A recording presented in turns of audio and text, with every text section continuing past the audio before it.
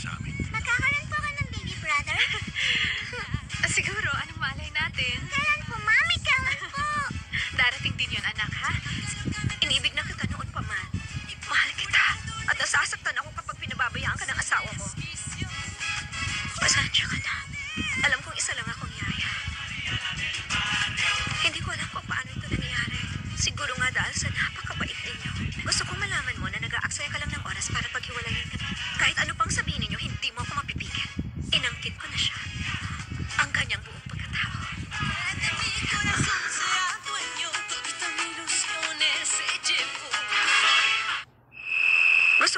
kong malaman mo na nag-aaksaya ka lang ng oras para paghiwalayin kami. Kahit ano pang sabihin ninyo, hindi mo ako mapipigil.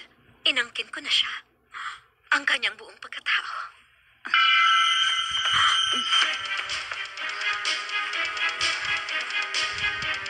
Akin ang kape, Aling Lupe. Ako nang bahala.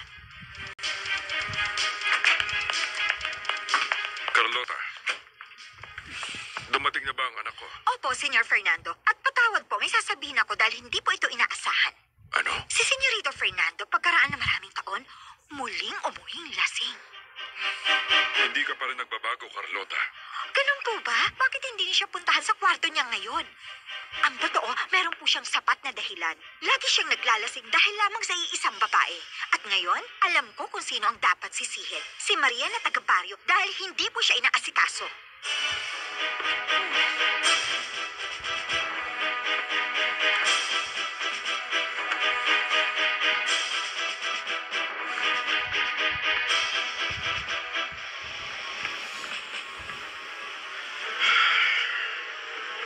Ah, hindi ko nasabi sa ninang ko na lumabas ako kanina. Ah, kasama ang nobyo niya na hindi ko gusto para sa kanya. Mag-uusap talaga kami ng masinsinan sa oras na ito. Huwag kayong mag-alala.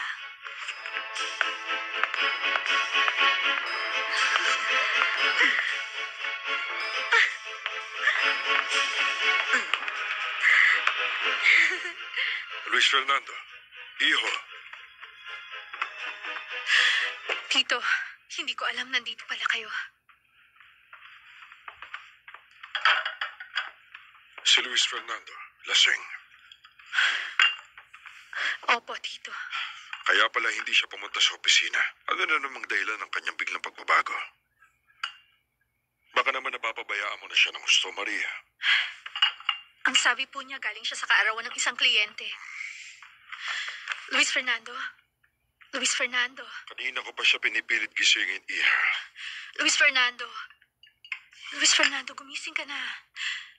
Kailangan mong inumin ng mainit na kape at maligo ka muna, mahal ko. Gusto ni tita na sabay kayo maghapunan at hindi mabuti kung lasing kang ganyan, Luis Fernando. Luis Fernando. Gusto ko matulog. Pakiusap, Luis Fernando. Huwag mo ubusin ang pasensya ko. Mauubusan ka ng pasensya? Ako nauubos na. Iwan mo muna siya. Tito, si tita kasi naghihintay sa kanya. Ako na ang bahala kay tita. Huwag ka na mag-alala. Talaga bang gusto mo pang gumawa ng gulo? Paano na lang kung nabisto ka kanina ni Maria?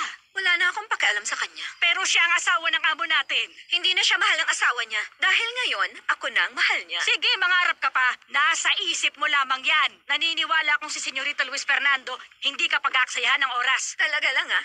Para sabihin ko sa inyo na buong araw, magkasama kaming dalawa. Nag-iimbento ka lang. Hindi ako nag iimbento dahil ang kasama niyang uminom ay ako. Buong araw lang naman kami magkasama. Hindi yan totoo. Sinungaling. Gusto mong patunayan ko? Amuyin mo ang damit ko. Ngayon, amuyin mo naman ang damit niya.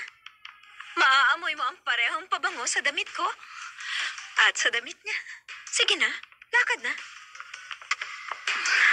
Hawak ko na si Luis Fernando.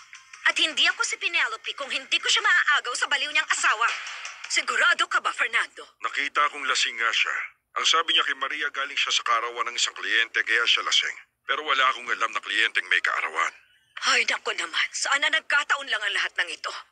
Si Luis Fernando ay amoy alak at amoy pabango ng babae ang damit niya. Ano ang iniisip mo ngayon? Na may ibang babae ang anak natin. Pasok ka.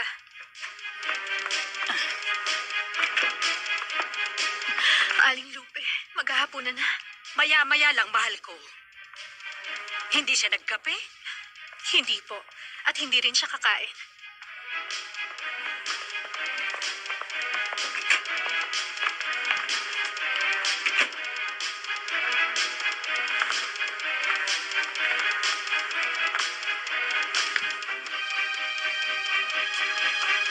Naku po, totoo nga. Ito ang pabango ng maharot na babaeng yun.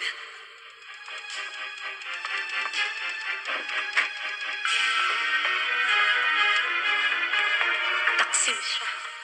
Meron siyang ibang babae.